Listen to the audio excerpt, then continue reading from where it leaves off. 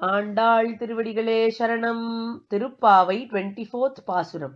அன்று உலகம் அளந்தாயடி போற்றி சென்றங்கு தென்னிலங்கை செற்றாய் திரல் போற்றி பொன்றச் சகடம் உதைத்தாய் புகழ் போற்றி கன்று குணிலாய் எரிந்தாய் கழல் போற்றி குன்று குடையாய் எடுத்தாய் குணம் போற்றி வென்று பகை கெடுக்கும் நின் கையில் வேல் போற்றி என்றென்றும் சேவகமே ஏத்திப்பறை கொள்வான் இன்று யாம் வந்தோம் இரங்கேலோரெம்பாவாய் Andal and her friends tried to wake up the Lord and they told him how he must beautifully open his eyes, get up from the bed, and walk towards his throne.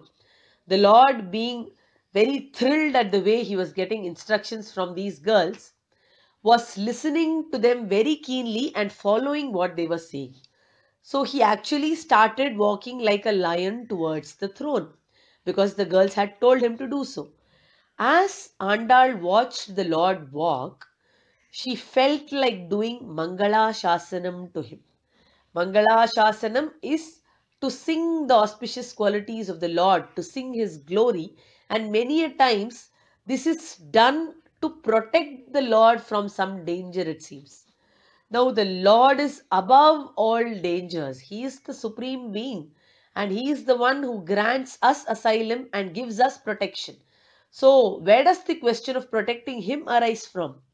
The answer is when one is very deeply devoted to the Lord, then he forgets or he completely overlooks the fact that he is the master of the universe who is capable of doing everything. For the devotee, he becomes somebody who is whom they have to take care of, like a child, like somebody who is very close to us, like a relative. So they start treating the Lord like one amongst them and start pouring all their affection on him. So, as a mark of this affection, they want to safeguard him from every kind of evil, and that is why they start singing the praise of the Lord in a fashion that would protect him from evil. So, also, when Andal sees the Lord walk so beautifully towards the throne, she is scared that some evil eyes would fall on him. So, to ward it off, she keeps singing potri, potri, potri. Potri means I pay obeisance to you, I bow down to you. As she says these words, they are all positive phrases, so they would ward off any kind of evil that would probably be present around the Lord, she feels. And this lesson of doing Mangala Shasana like this has been taught to Andal by her great father Periyalvar. Because Periyalvar constantly did Mangala Shasanam to his Lord through his pasurams. So Andal begins this pasuram by saying that, O Lord, this holy feet of yours, which are now walking towards the throne, were the ones who measured the worlds the other day. அன்று உலகம் அளந்தாய் அடி போற்றி that day அன்று இவ்வுலகம் அளந்தாய் you measured this world o lord may i sing the glory of that feet அடி போற்றி it seems that day when the lord measured the three worlds when he came as trivikrama everybody were looking at the benefit that they got from that measurement or if it was the opposite party, they were looking at what they lost because of this feat of the Lord.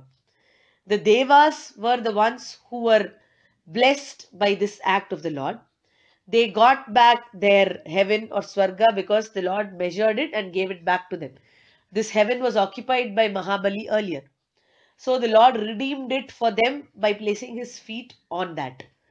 And Mahabali, on the other hand, was the defeated one, so he was feeling bad and the rest of the people in the world, it seems this measurement made no difference to them that day. Probably many were not even aware that the Lord is keeping their feet on them.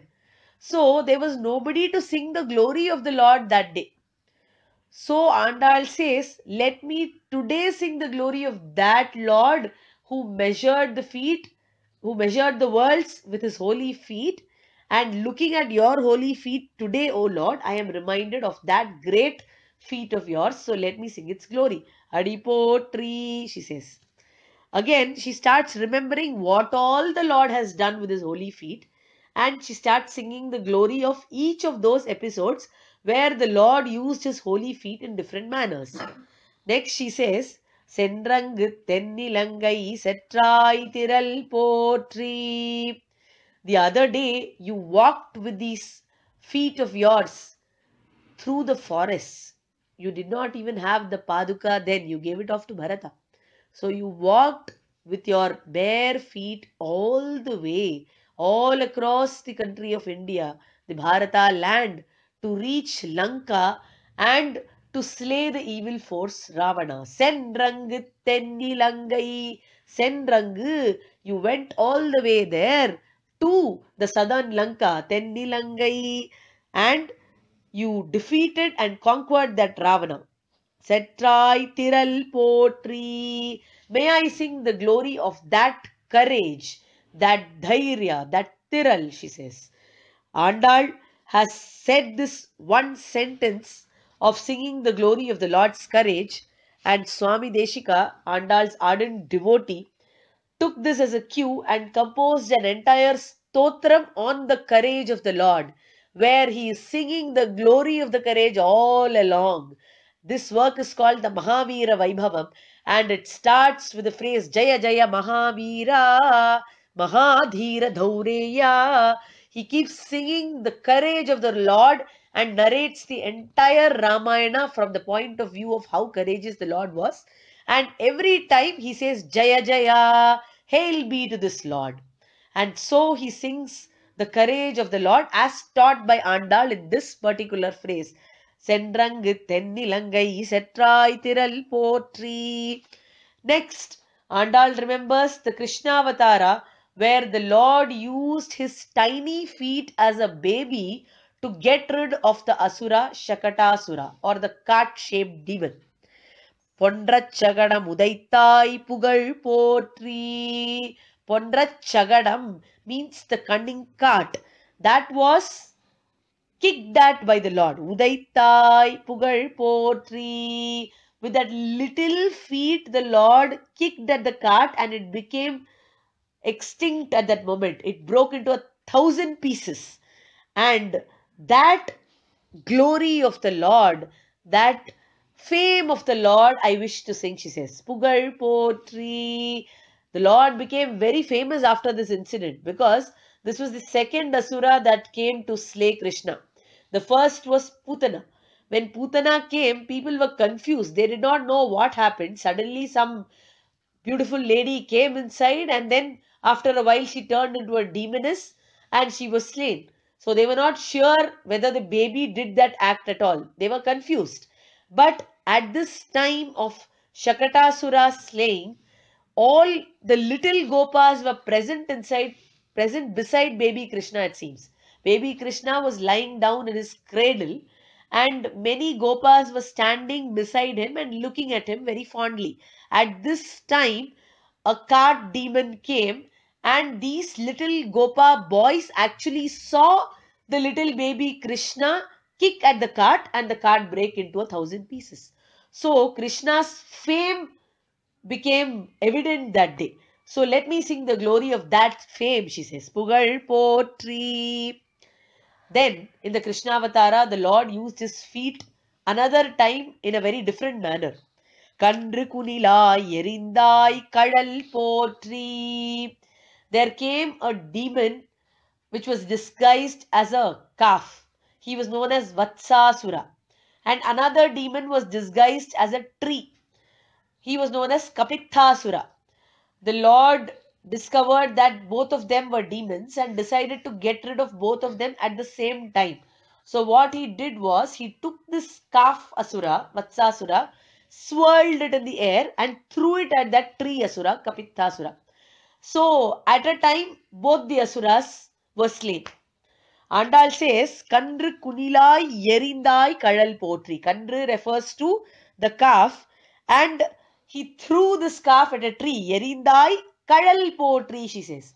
Now, how is this act done? This act is done by the hand of the Lord. He threw the calf with his hand on the tree. So ideally, she should have sung the glory of the hand. But here she's saying, Kadal potri. I am singing the glory of the Lord's feet, which did this act. Did the feet do this act? They say yes, because it is very important to have the right footwork so that you can aim at your target. So it was the holy feet which actually played a role in getting rid of these two asuras too. So let me sing their glory. Kadal Potri, she says. Then another feat of his in the Krishna Avatara she remembers. She says, Kundru Kudayai Edittai Gunam Potri. Here she is saying that now I wish to sing about your quality, O Lord. Your holy feet are holy because they have a quality called granting mercy. Anybody who comes into their refuge is granted mercy and compassion.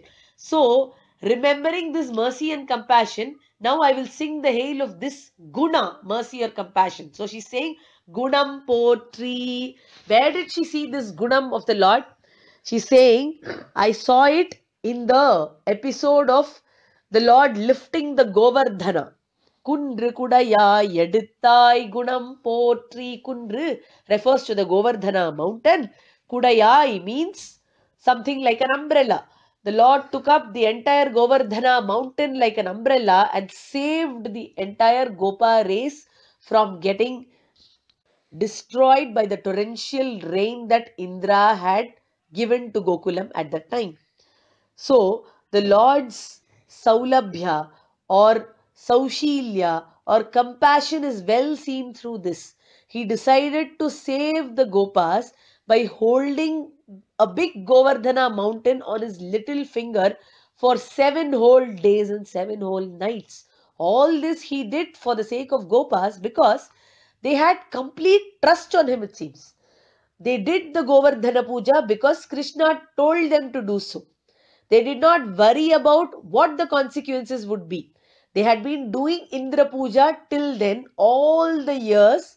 But as soon as Krishna told them that no, we must hmm. worship Govardhana, they did not have any kind of retaliation to that and they just obeyed Krishna and did the Govardhana Puja. So much trust they had on Krishna and his words.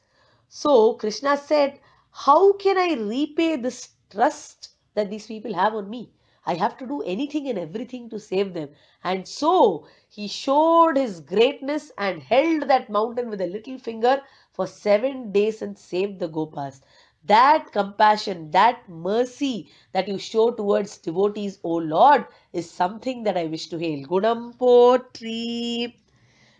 Now Andal said Gunam Potri, so Swami Deshikan decided to compose a stotra containing more than 100 verses only on this guna of mercy called Daya. So he composed the Daya Shatakam just on this quality of the Lord.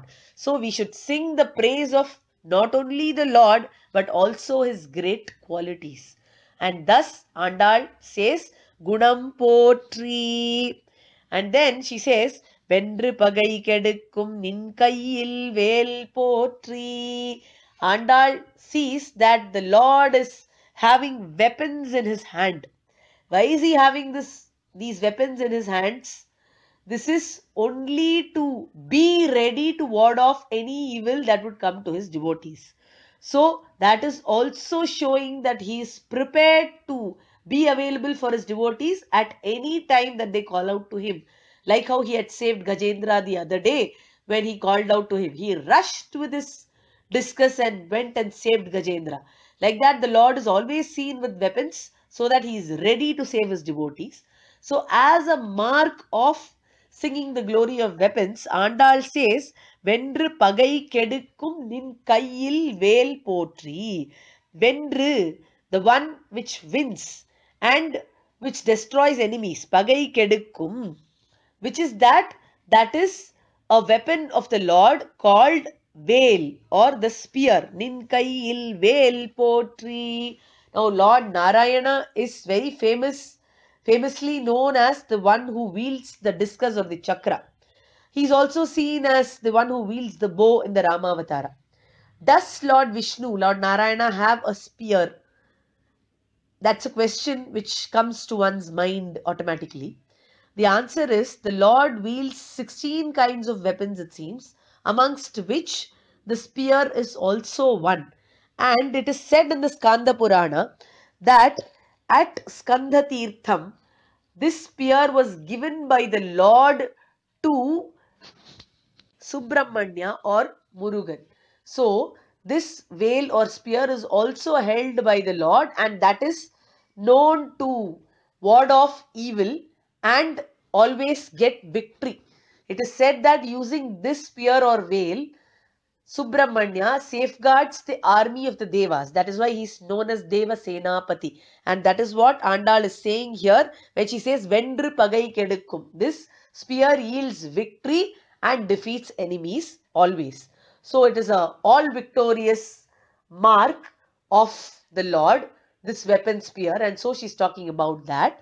And she says, let me sing the glory of this weapon of the Lord, which is indicative of singing the glory of all the weapons of the Lord, the Shodashayudhas or the 16 weapons of the Lord. Like this, we sing the glory of you, our dear Lord, say Andal and her friends.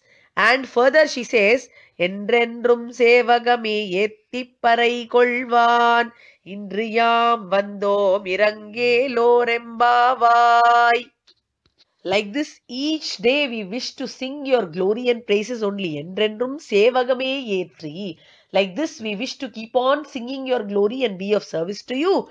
And take parai from you. Parai kolman. Now they have come to take this parai only from Krishna. That is what we understand from all these pasurams till now. All the time she's been talking about some parai, parai, parai. And every time she reminds him that their motive is to take parai. So she's saying parai kolman. By singing your glory, we have come to take this parai. Indriyam vandom irangelo We have come today, Indriyam vandom. You please come down for us and grace us. Irangelo Thus, Andal does Mangala Shasanam to the Lord through his various avatarams and tells us that this is the way to sing the glory of the Lord. She's teaching us how to sing Pamalai about the Lord. And listening to all this, the Lord is very happy. And uh, listening to his praises and glory, he has walked all the way and reached the throne. And now he has occupied the throne too. In the next Pasuram, the girls are going to have a conversation with him. The Lord is going to actually answer these girls. And let us see what these people are going to talk tomorrow.